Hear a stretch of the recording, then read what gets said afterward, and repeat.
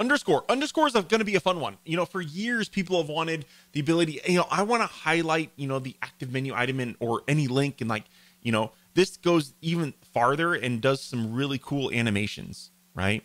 So in this uh, on the menus i'm adding an underscore swatch and the underscore swatch allows us it has built-in animations into it as well. So you can do these really slick animations. And this one is really cool. I mean that is just awesome. Especially if if you notice, if you pay attention, it animates in, and then when you hover, hover over, unhover, it basically animates out the opposite side, right? Like that is just that's really cool. I mean, small little details like this on your site, um, you know, people will play around with it and they'll stay on your site longer, right? So yeah, fun stuff like that is really fun. Um, and I can't wait to see.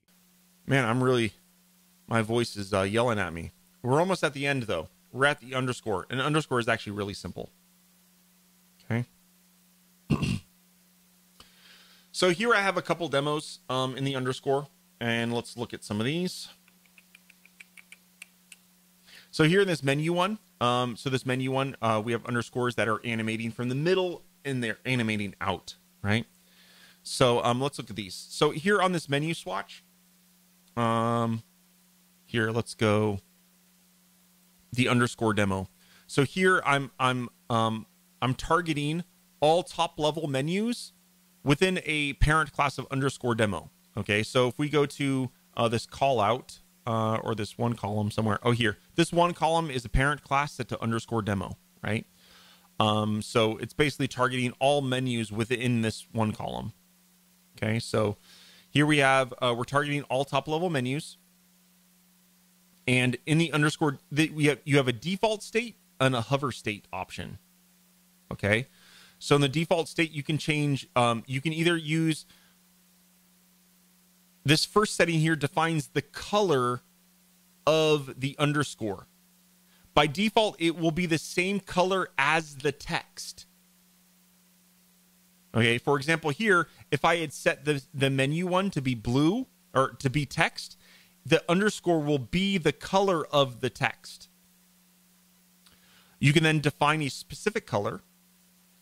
You could define a swatch color, or you can define your own custom CSS.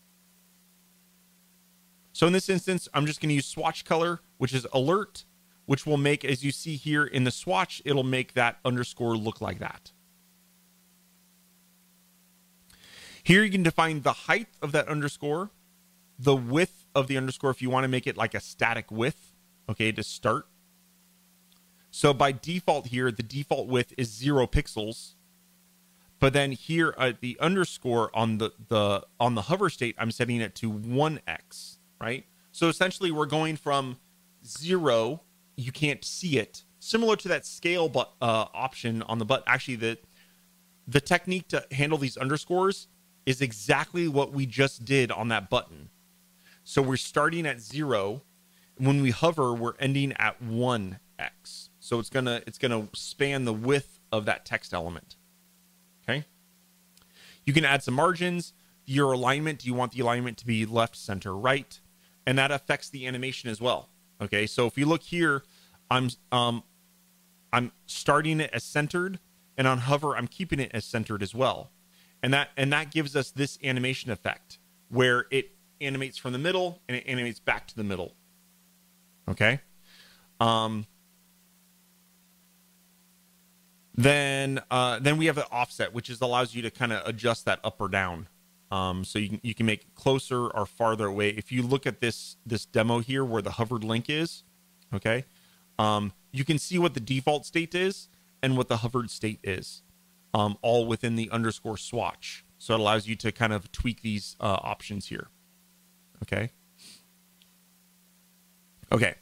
Um, let's look at the next demo. Okay. Um, here we I use a few different options. Here I'm using the CSS option, which actually, if you look, makes it gives it a gradient underscore, okay, which is pretty cool. Um, you can you can I define the height, same thing with width. Now here, if you notice here, I am doing alignment right by default and an alignment left on hover. Now, why would we want to do that? Well, when we do that, essentially what that does is it gives us that effect of the the underscore starting at the left, going all the way to the right, and when we unhover, it basically goes out the same direction.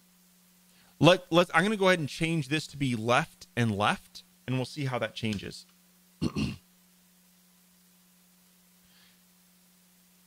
so when I hover over the link, we'll see the, the we see that the line animates out from left to right, and when I unhover, it goes back from right to left.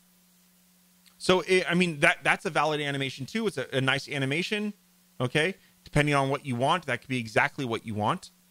But I I do kind of like the cool little hip uh, you know hip look of this. Uh, um, when you animate out, it animates the opposite direction, and basically it always goes left to right. And you can also you know if you set that to be left and then right here, you can have it always going right to left as well, right? But I just think that's a pretty cool uh, cool element cool animation there.